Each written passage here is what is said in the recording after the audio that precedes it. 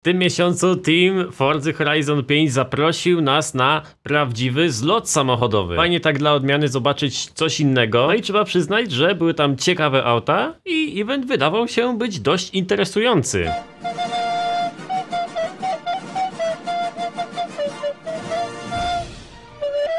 Podczas całego wydarzenia twórcy przedstawili nam 7 nowych samochodów, które pojawią się w grze, w tym 3 z nich to samochody z pakietu. Jeden bezpłatny będzie naprawdę ciekawy i dwa wśród y, samochodów z pakietu będą również mocno interesujące. W tym update'cie dominują głównie starsze autka, ale pojawi się nowy Aston Martin i Lamborghini Aventador z 21 roku. Jednym z ciekawszych samochodów jest nowe kombi, które ma napęd z Nissana Skyline'a R34. Co ciekawe, można w nim zrobić swap przodu na właśnie ten ze Skyline'a. I zyskujemy zarąbiste, rodzinne kombi z silnikiem sześciocylindrowym o pojemności 2,5 litra prosto ze Skyline'a coś dla mnie. Kolejnym najciekawszym samochodem jest Mazda MX-5 RF z otwieranym dachem, ale takim prawdziwym otwieranym dachem, gdzie mamy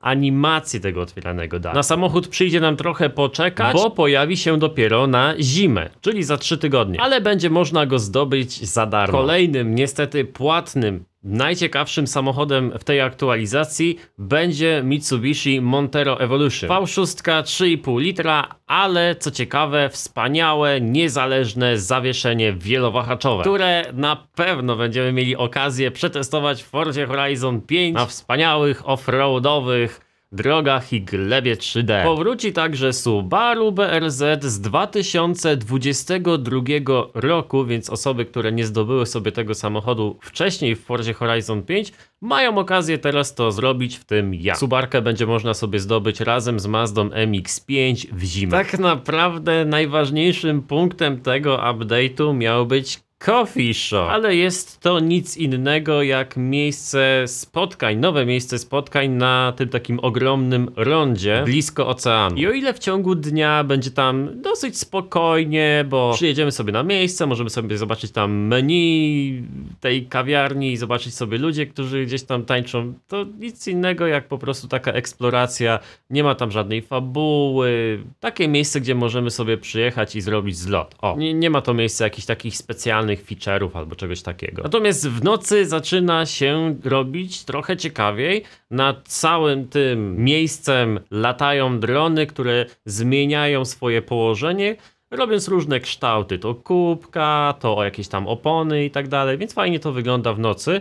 Dodatkowo mamy takie specjalne, mega dobrze oświetlone miejsce, gdzie możemy zaparkować samochód i zrobić giga dobre zdjęcie. Razem z tą aktualizacją dostaniemy zajefajny strój człowieka kawy. Będziemy po prostu takim jednym wielkim kubkiem. Z takich dziwacznych aut pojawi się na przykład Volkswagen Ting, który wygląda jak y, fura wyjęta z jakiegoś Indiana Jonesa, taka stara, dziwaczna, no nazywa się Ting, to jest rzecz. Także Volkswagen SP2 z 76 roku. Dajcie znać, na który z tych samochodów czekacie najbardziej i czy wydacie kasę na nowy pakiet samochodów za 5 dolków? U nas to chyba będzie kosztować 25 zł. Od 16 lipca można sobie ten pakiet kupić.